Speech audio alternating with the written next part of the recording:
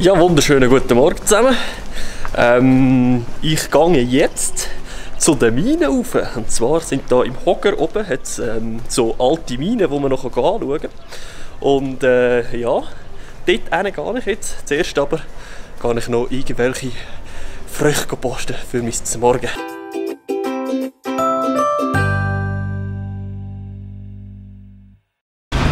Ja, ich habe jetzt meine obligaten Früchte geholt. Wieder, ähm, Ananas mit Mango.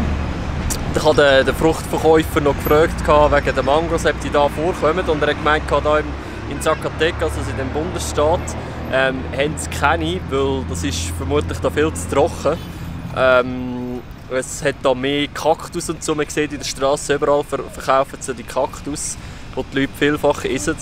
Und ähm, ja, jetzt, die Mango ist jetzt auch nicht wirklich so der Oberhammer. Also sie, haben, sie müssen ja von, von einem Nachbarstaat importieren und so, was die gibt. Oder von, von sogar noch weiter unten. Und äh, ja, ist auch ein bisschen teurer. Und die Ananas schmeckt nicht ganz so gut. Also es ist schon, ähm, je weiter rauf man kommt, ähm, umso weniger Früchte gibt es. Äh, also so, sag jetzt mal, die tropischen Früchte kommen dort natürlich nicht mehr vor. Und ähm, ja, das englische Paar, das ich kürzlich kennengelernt habe, hat gesagt, eben im, ganzen, im, im Norden oben, dort essen sie hauptsächlich Fleisch, also Früchte essen sie dort fast nicht. Jetzt bin ich da schon angekommen, es ist gar nicht so weit und auch gar nicht so weit oben. Ähm, Mina El Eden sehen hier im Hintergrund und genau die gehe ich jetzt anschauen. Jetzt haben wir da gerade unseren Helm bekommen und äh, ja, jetzt, jetzt, wir haben da glaube ich gerade so eine, eine ganze Tour ähm, das sind ganz Haufen Leute und äh, ja, da kann man glaube ich nur mit Guide rein.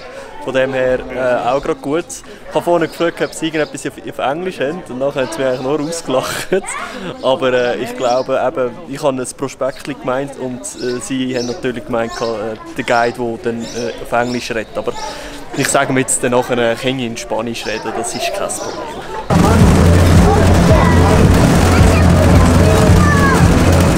Jetzt sind wir gerade mit dem Zügel hier gefahren und jetzt sind wir hier in der Mine innen.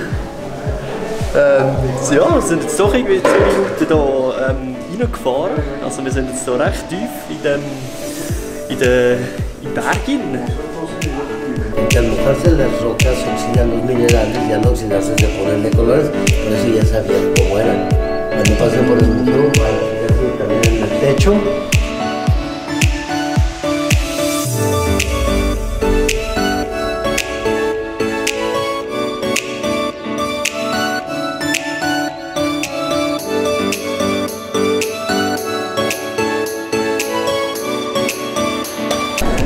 die haben da tatsächlich einen Club eingerichtet, da mitten in Mine.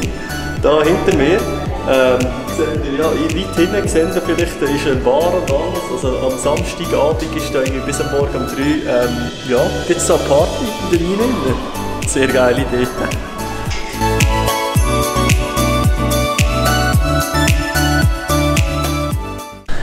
Jetzt ist die Tour also fertig. Es war relativ schwierig, dort drinnen zu filmen, weil alles mega dunkel war. Ähm, aber es war sehr, sehr interessant. Gewesen. Das Ganze ist etwa dunkel gegangen, sogar noch ein mehr. Also hat sich da richtig Zeit genommen. Und ähm, ja, also kann ich auf jeden Fall empfehlen, wenn ihr da sind. Ähm, das ist wirklich ganz, ganz cool gewesen. Ganz gut gemacht. Leider habe ich nicht alles ganz zu 100% verstanden, weil es äh, alles auf Spanisch äh, war. Ähm, ja, und vor allem mit so meinem Vokabular komme ich jetzt halt wirklich noch nicht so hundertprozentig Schlag. Aber ähm, ja, ist auch gut gewesen, äh, auch wenn man kein äh, Spanisch kann oder nicht so viel. Ja, und jetzt gehe ich vermutlich etwas zuerst mal ein bisschen essen noch und danach gehe ich da auf den Aussichtspunkt, das ist auf dieser Seite, vielleicht sehen Sie es da durch die Bäume durch, dort hinten. Dort rauf ich jetzt nämlich. Normalerweise kann man ähm, mit, einer, so einer, mit einer Gondel von da, dort über, aber die geht jetzt nicht. Aber ich hätte sie sowieso nicht genommen, von dem her. Ähm, ja, jetzt wird es vermutlich dort oben einfach ein weniger Leute haben, nehme ich an. Die ist jetzt gerade ausser, ähm, ja, ausser Betrieb, warum auch immer. Und ähm, ja, ich kraxle jetzt mal dort ein bisschen den Berg drauf.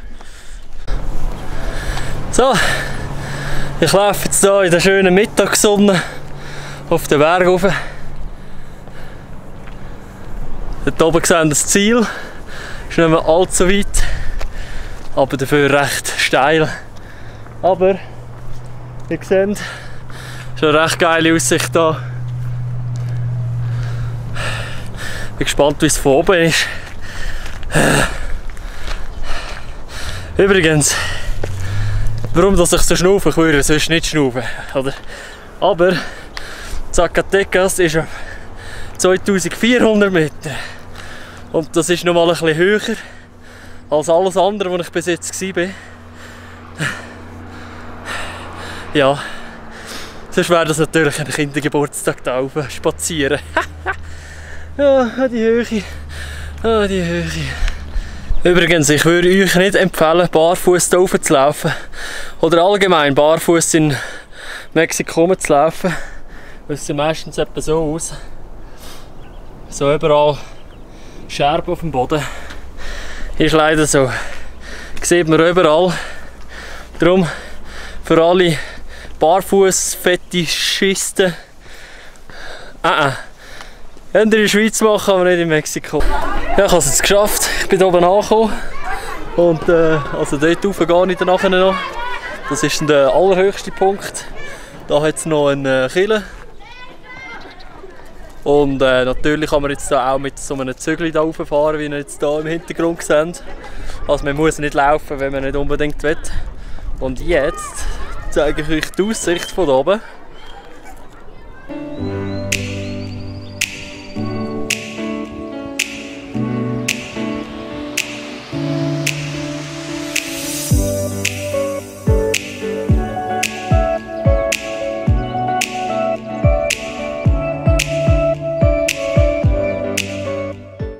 Ja, da unten seht ihr jetzt gerade, dort ist alles ähm, schwarz, also verkohlt. Und die Leute dann meistens, äh, anstatt das Zeug ähm, schneiden oder zurückstutzen, machen die das Ganze einfach, dann einfach verbrennen.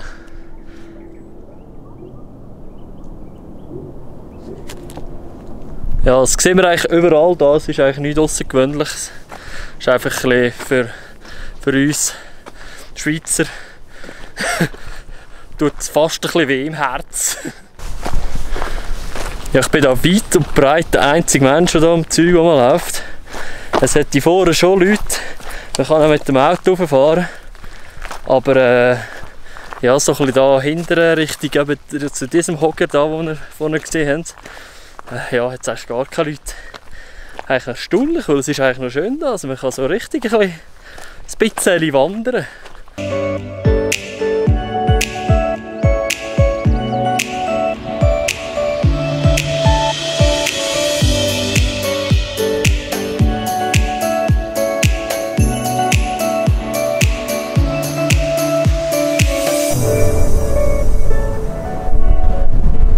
So geil, Leute. Schaut euch das mal an, wie das da aussieht. Einfach voll die eindrückliche Landschaft. So richtig so Mexiko, wie man sich vorstellt. So wie so ein Bilderbuch. So mit diesen die hügelige Landschaft da, so bisschen, aber alles relativ kahl. Sieht richtig geil aus. Und da ist noch. Ich glaube, das ist Guadalupe. Ähm, das ist Nachbarstadt eigentlich von äh, Zacatecas. Ich bin mir aber nicht ganz hundertprozentig sicher, aber ich meinte es. Ja Leute, ich war vorne gerade im Starbucks, habe mir ein Frappuccino gegönnt und habe noch gerade meine Unterkunft reserviert in die nächste Stadt und ähm, ich habe Glück. Ich kann wieder Couchsurfen und die Person hat schon bestätigt. Schon, haben wir schon auf WhatsApp geschrieben, es ist gut und alles. Tipptopp. Und äh, mein Ticket habe ich auch gerade gekauft, äh, mein Busticket. Ähm, da fahre ich jetzt mit Omnibus, das ist so eine Busgesellschaft, die eher so ein bisschen im Norden oben fährt. Ähm, hier in Mexiko hat es ganz verschiedene Busgesellschaften. Die einen fahren nur um Mexico City herum, ein paar fahren nur im Norden, ein paar nur im Süden. Wo wir immer ein bisschen schauen, wo man jetzt muss buchen muss. Und ähm, das konnte ich reservieren, online. Und dann in der Pharmacia konnte ich das können zahlen? Und äh, ja, das ist noch ganz praktisch, weil sonst müsste ich wieder ähm, irgendwel irgendwelche irgendwelche Leute ansprechen oder fragen, ob sie mit ihrer mexikanischen Kreditkarte mir ein Ticket kaufen und ich gebe ihnen dann nachher das Geld bar, weil man da ja leider nicht kann mit der Schweizer oder mit der ausländischen Kreditkarte irgendetwas online ähm, reservieren oder buchen. Aber das hat jetzt zum Glück alles tiptop geklappt. Also ich habe mein Busticket, ich habe meine Unterkunft in der nächsten Stadt. Ja, ich würde sagen, es kann losgehen. Ich bin gerade noch ein bisschen shoppen. Ich habe noch ähm, so ein bisschen Chillerhosen, so ein bisschen Sporthosen gekauft und ein paar kurze Socken für 102 Pesos. Also ja, habe mich selber ein bisschen überrascht, wie günstig das jetzt war. Ja, ich bin jetzt wieder in der Unterkunft und äh, ja, ich denke, ich tue das Video gerade an dieser Stelle beenden, weil allzu viel würde ich heute nicht mehr machen.